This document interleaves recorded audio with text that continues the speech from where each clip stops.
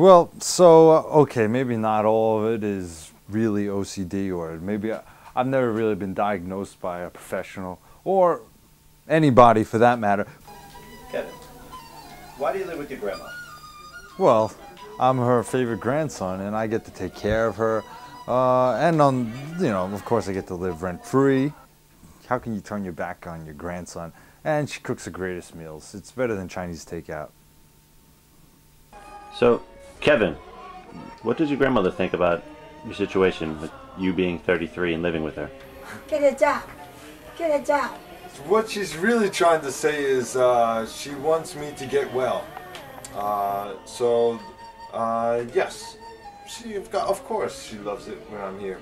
I get to take care of her. Do you ever feel like you're taking advantage of your grandmother? Take advantage of my grandmother. Come on, I'm the reason why she's still living. Without me, she wouldn't have any reason to live. You know, my parents are still in Hong Kong. You know, I'm over here living the American dream. You know, so What is your current situation? Um, well, I work from home. I am uh, the founder of my own online company. We make fortune cookies. Why do you work from home?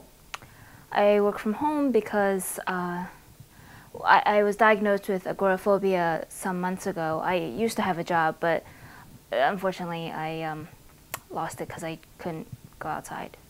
Is that what the fear is? Agoraphobia? Yes, uh, technically, it's a fear of escape, uh, fear of not being able to escape. They said. Has it escalated, you know, over the t- over the years? Um, yeah, it's it's hard. It's very hard to to leave. Uh, so I do try to go out sometimes, but recently I've been noticing this guy. He kind of hangs out and he kind of just he's weird.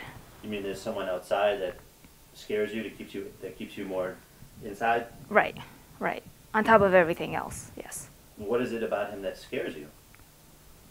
I just um, he well he wears a ski mask and I I I, I never liked ski masks. So knowing the situation that Kevin and his girlfriend are in, do you, do you help out in any way?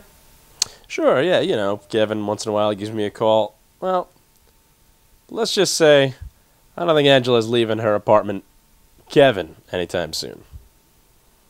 Do you know anything about this man in the ski mask that she sees?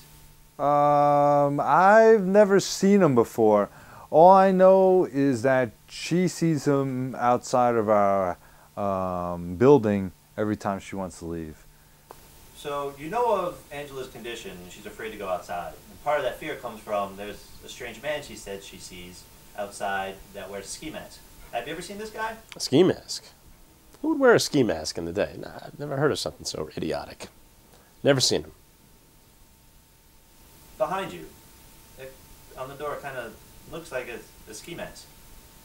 I- Is it? Oh, this thing? Nah, it's just an oven mitt. It's not always easy to, you know, put up with each other's idiosyncra- idiosyncrasies, but I think we are a good pair and we do fulfill each other. Hold up. So do you feel bad lying to Angela about your OCD?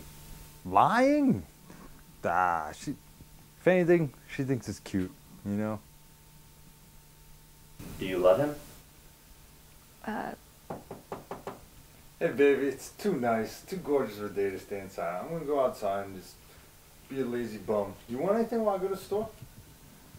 no, it's okay. All right, baby. I'll see you later. See you. I'm sorry, what was the question?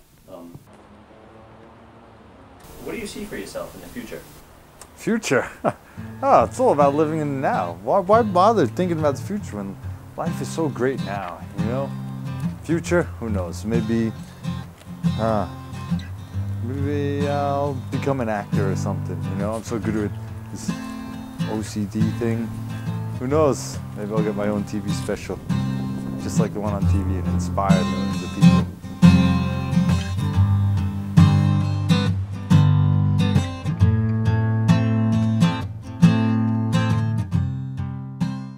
Kevin, what do your parents think? Well, they sent me over here when I was a kid to live the American dream, and hey, look at me now. I sort of think I am living the American dream, you know?